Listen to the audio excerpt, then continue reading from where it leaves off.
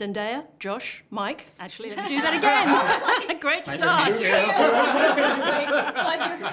let me try that again. Zendaya, Mike, Josh. Nice. Welcome to 7:30. Thanks. Only took one rehearsal. it is very unusual for us to interview three actors at once, but okay, it's a love triangle, so it makes sense, right? So let's start with that. Zendaya, what was the appeal of this film to you? Um, oh man, I think there was there was many things. I, I just remember reading it for the first time and it um I, I have a hard time like reading scripts. I don't know if you guys have that. I just immediately you kind of either know whether it connects with you or not. And this is something that like I couldn't stop like turning the page and wanting to know. Um, and, and I felt like every time I read it, I, I felt differently about my character, about their characters, and there was just so much um, being said on the page, but I think also so much that was unsaid. You just said you just said it was a page turner because you wanted to know you wanted to know what happened. So did you want to know who you ended up with?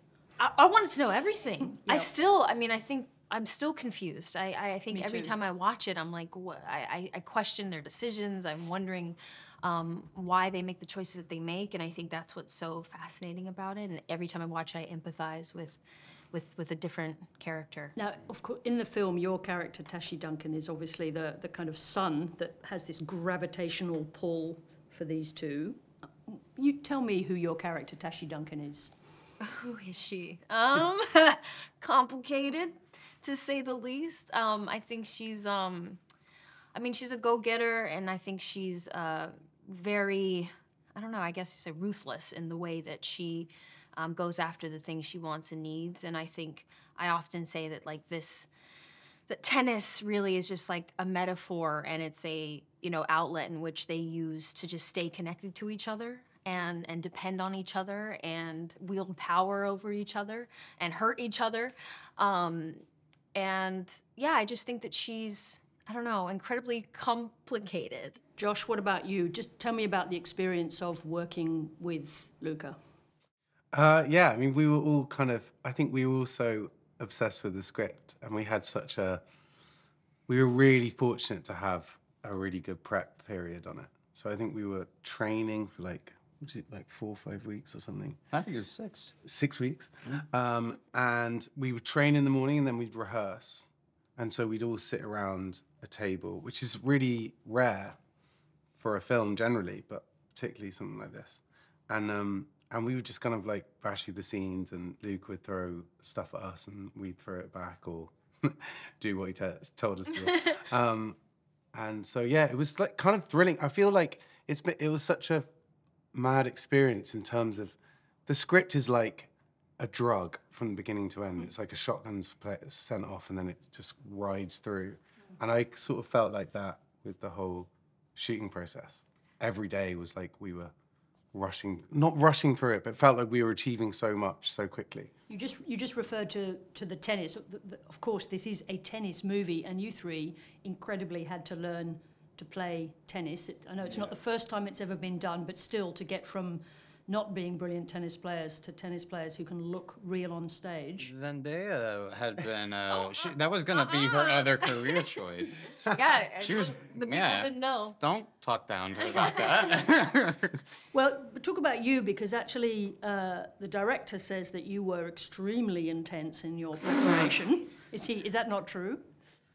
You, I mean, he was the most. Mike's the best Yeah, tennis player. he There's no was, two ways about it. Yeah, he was better from the beginning. Yeah. and also like A lot better. uh, a lot better from the. And uh, definitely I think uh, fairly enough outworked us in in, in many aspects. But, but Mike, did, were you able to turn yourself mentally into an elite athlete? Because that's very different to a couple of respectable ground strokes and a bit of a volley. Fair.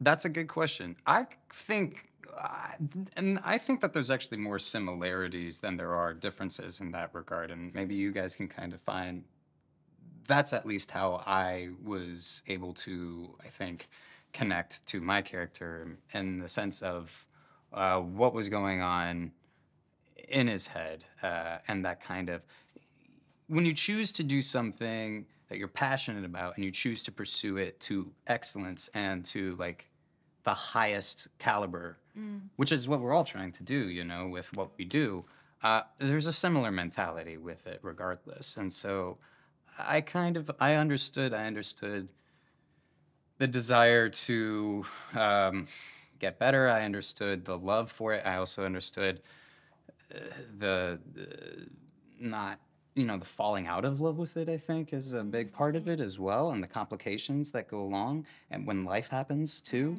Um, so, uh, for me at least, the mental part of it was probably the easiest thing.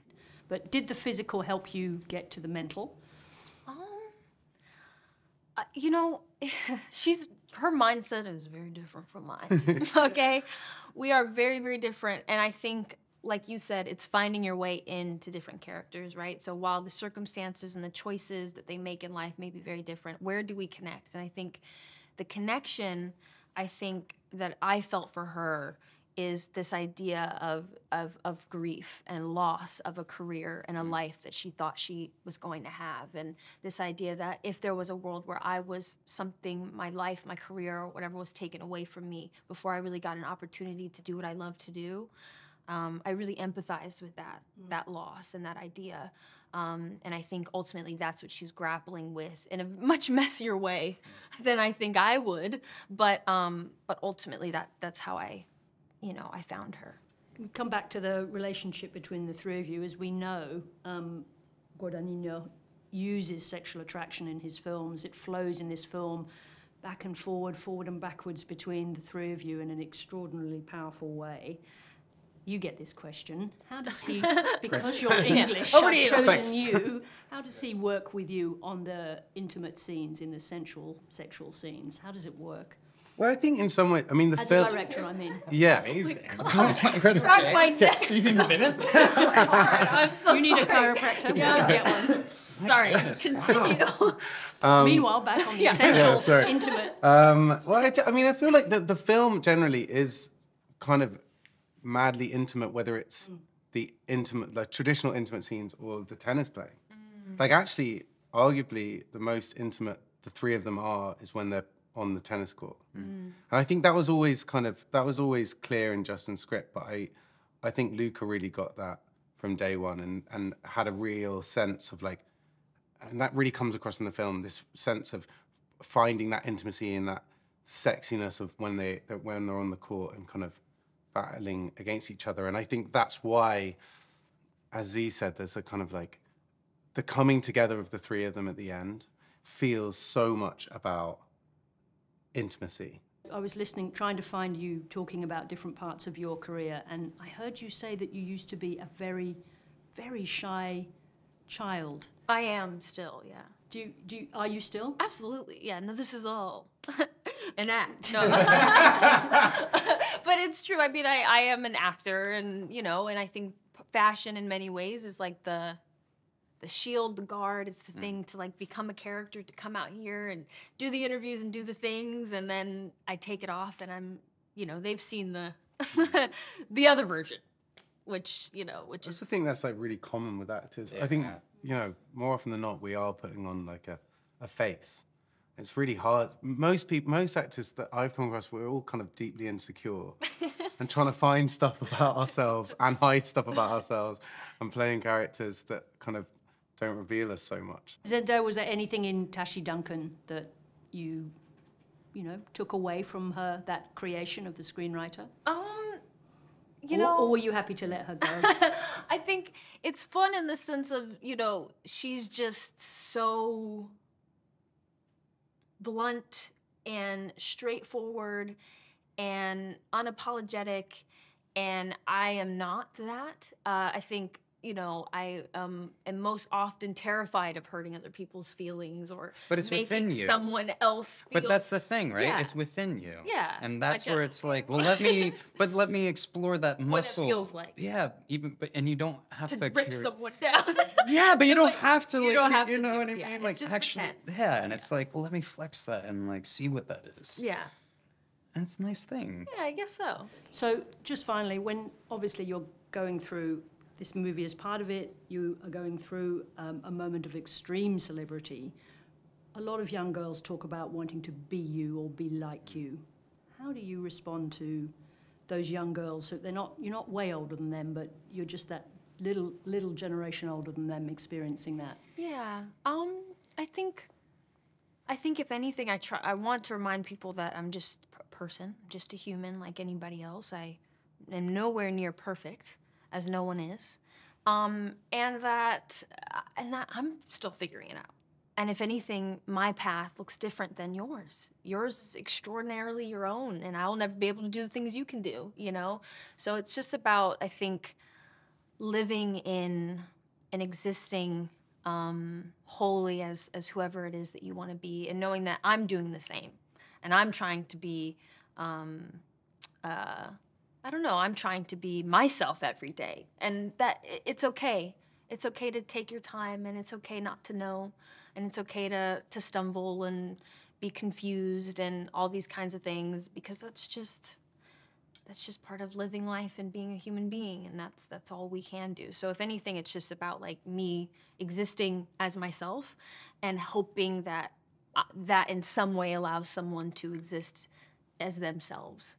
Um, so yeah i don't know i, I, I, I hopefully that answers some of the my question It is exactly as you say, great advice. You've brought us um, an extraordinary film, and the relationship that we you can still see between you is is part of what we can see on film, and it's an extraordinarily intense thing to watch in the film, and a pleasure to see it in real life. Thank you, Thank you. Mike, Thank you so Zendaya, much. Josh. Thank you very much indeed.